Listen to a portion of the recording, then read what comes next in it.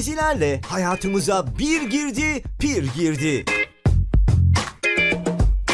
Yakışıklılığıyla genç kızların yüreklerini dağladı. Şimdilerde ise Söz dizisiyle fırtınalar estiriyor. Tolga Sarıtaş'ın inanılmaz yükseliş öyküsü magazin kulisinde. En çarpıcı, en taze magazin haberleri için magazin kulisine abone olmayı ve haberleri beğenip yorum yapmayı lütfen ihmal etmeyiniz.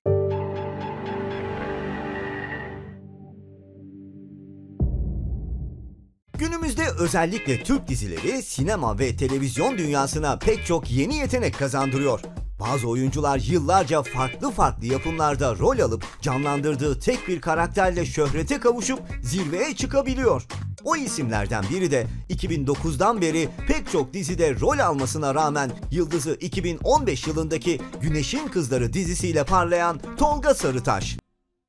Sensiz olmaya itirazım var Canımı çok yakacak Tolga Sarıtaş 30 Mayıs 1991'de İstanbul'da doğdu. Aslen Sivaslı olan Tolga Sarıtaş, Halil Akkant Lisesi'nden mezun oldu.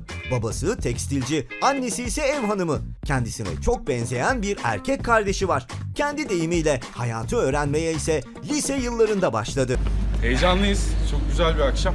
Yine ekipçe buradayız. Ee, tabii yani çok çalışıyoruz ediyoruz ama bu ödüllerle bunları ödüllendirmek çok bizi mutlu ediyor. Genç oyuncuyu annesi gerçek dünyayla tanışması için bir mobilyacıya çırak olarak verdi. Sonrasında bir arkadaşının babasına yardım etmek için pazarcılık yaptı.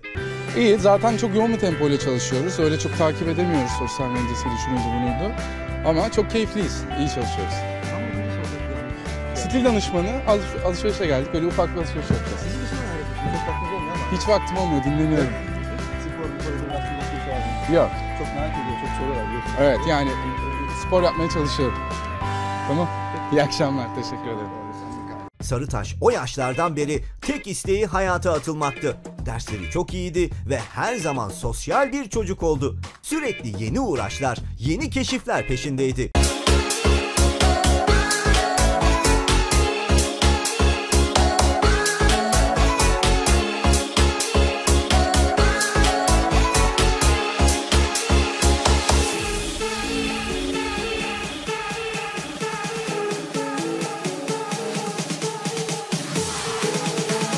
Sekiz yaşında bağlama çalmaya başladı, tiyatro kursuna yazıldı. Ardından önce bas gitara, sonra bateriye merak saldı genç oyuncu.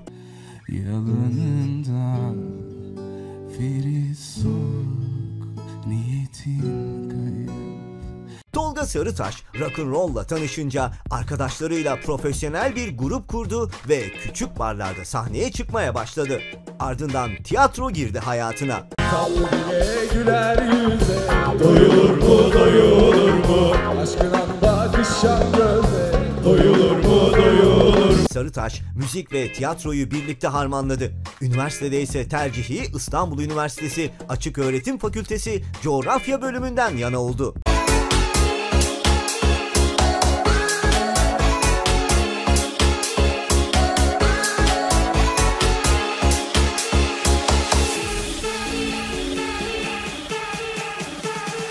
O zamanlar Esenyurt Belediye Tiyatrosu ve Tiyatro Zeytin Dalı'nda tiyatro sahnelerinde oynuyordu. İlk kezde 2009 yılında Bahtı Kara filmiyle kameraların karşısına geçti Tolga Sarıtaş.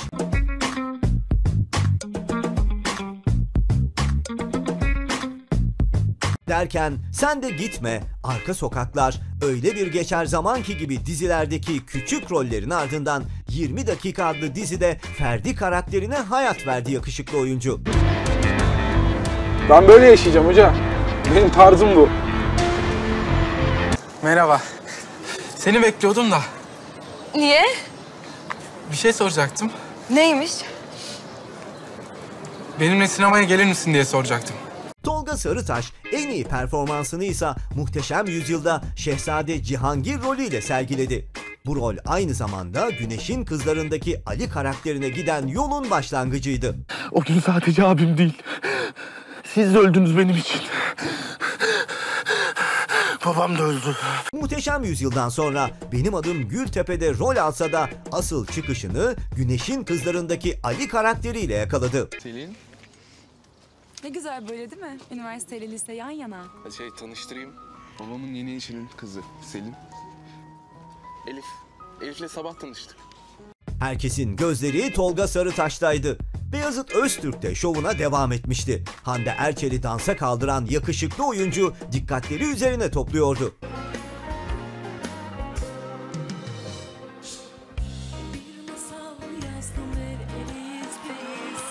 Şimdilerde ise 2017 yılında başlayan ve bir terör saldırısı sonrası hayatı tamamen değişen kıdemli üsteğmen Yavuz Karasu'nun hayatının anlatıldığı Söz dizisindeki rolüyle gündemde Tolga Sarıtaş.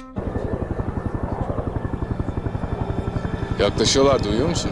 Şimdi!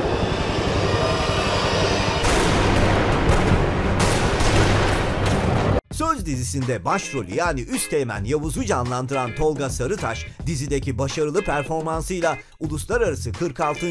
Emmy ödüllerinden en iyi erkek oyuncu dalında aday gösterilmişti. Hi everyone. I'm so happy to be here today. Thanks.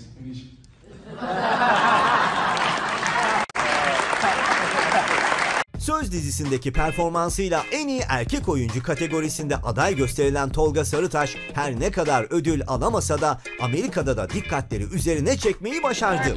Yani burada olmak çok güzel. Ee, Emmy International çok prestijli bir ödül.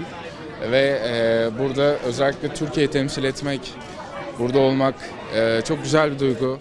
Ödül töreninde birçok kişiyle tanışma imkanı bulduğu belirtilen Sarıtaş, bu organizasyonun kendisi için çok güzel bir deneyim olduğunu vurguladı.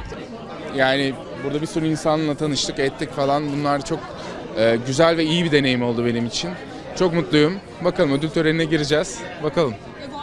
Genç oyuncu 20 ülkeden 11 farklı kategorinin yer aldığı ve 19 Kasım 2018'de gerçekleşen törende Brezilya'dan Julio Andrade, Kanada'dan Billy Campbell ve Danimarka'dan Lars Mikkelsen'le yarıştı. Hi everyone. I'm so happy to be here today. Thanks, Manish. Tolga Sarıtaş'ın o günlerde Instagram'da 4.2 milyon takipçisi vardı. Aradan 3 ay geçmesine rağmen 200 bin izleyici arttırarak 4.4 milyona çıkarttı. En çarpıcı, en taze magazin haberleri için magazin kulisine abone olmayı ve haberleri beğenip yorum yapmayı lütfen ihmal etmeyiniz.